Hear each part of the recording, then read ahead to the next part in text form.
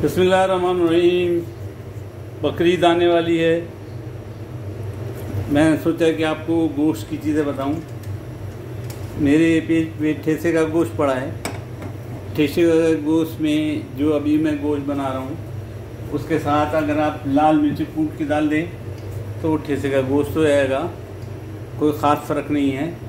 मैंने 700 ग्राम गोश्त को, क्योंकि एक ही अफराद ने खाना है, या दो अफराद मैक्सिमम खाना है। इसलिए मैंने कम गोश्त लिया है। 700 ग्राम गोश्त को प्याज की क्यूबे काट के, उसको प्याज में डालने के बाद मैंने प्रेशर कुकर से बॉईल कर लिया। गोश्त गल चुका। गोश्त बिल्कुल गल चुका। उसमें मैंने हल्दी डाली थी और नमक डाला था। इसकी मैं रेसिपी ज़रूर लिखूँगा इन बकरीद के वक्त आपको काम आएगी। तो इन उसकी रेसिपी मैं लिखूँगा और अब मैं उसको आखिरी शक्ल देने जा रहा हूँ। मैंने तेल गरम कर लिया। और तेल गरम करते ही इसमें मैंने एक चम्मच खाने का तेल लिया, समझे? तकरीबन, बल्कि कम लिया उससे। और उसमें मैंने टमाटर, तीन चार टमाटर काट के डाल दिए। और इसमें मैं पानी के साथ अदरक लहसुन का पेस्ट डाल दूँगा ताकि टमाटर इसमें अदरक लहसुन के पेस्ट में गल जाए। ये मैंने चीज़ें इसके अंदर डाल दी ताकि टमाटर इसमें गल जाए। टमाटर इस दफ़ा मैंने छिलके वाले लिए, खूबसूरती के लिए, कि खूबसूरत दिखे। आप चाहें तो आग आप जला के बगैर छिलके भी ले सकते हैं, जिस तरह मेरी पेस्ट में दिया हुआ है। और आप चाहें तो छिलके वाला भी ले सकते हैं। जो आपका दिल करे उस तरह के लीजिएगा। ये एक मिनट, दो मिनट दूँगा। और ये टमाटर इसमें गल जाएँगे। इस किस्म से पिशावर में गोश्त बनाया जाता है, नमक वाला गोश्त, और तुर्की भी इस तरह बनाते हैं और अरब भी इस तरह बनाते हैं। इसमें मसाले नहीं डालते, टमाटर सेम ही गलाने हैं, ज़्यादा नहीं गलाने। बाकी हम गोश्त के साथ इनको पकाएँगे। पानी तकरीबन सूखने में आया, और टमाटर तकरीबन गलने में आ गए।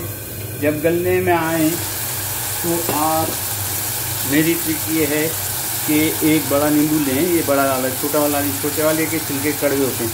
और उसका थोड़ा सा पाउडर इस तरह छिलका इसके अंदर डालें ताकि उसका मज़ा इसके अंदर ज़्यादा नहीं थोड़ा सा डालना है। ये डाल दिया, इतना डाल दिया मैंने देखिए।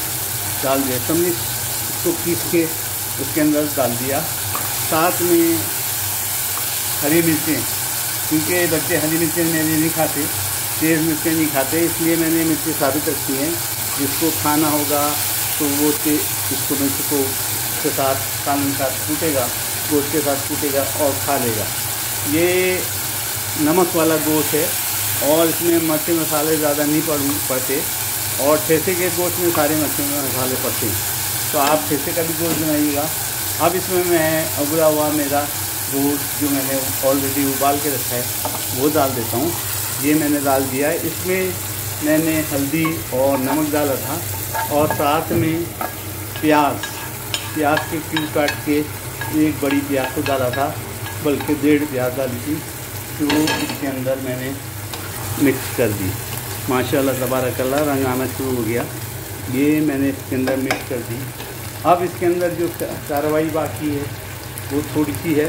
इसको एक मिनट देंगे दम के लिए, ताकि टमाटर और मज़ीद इसके अंदर मिल जाएँ और इसके अंदर हम इन बाकी चीज़ें जो हैं, जिसमें अदरक है, क्योंकि यह अदरक वाला गोश्त भी है और धनिया है, पुदीना है, वो चीज़ डालेंगे।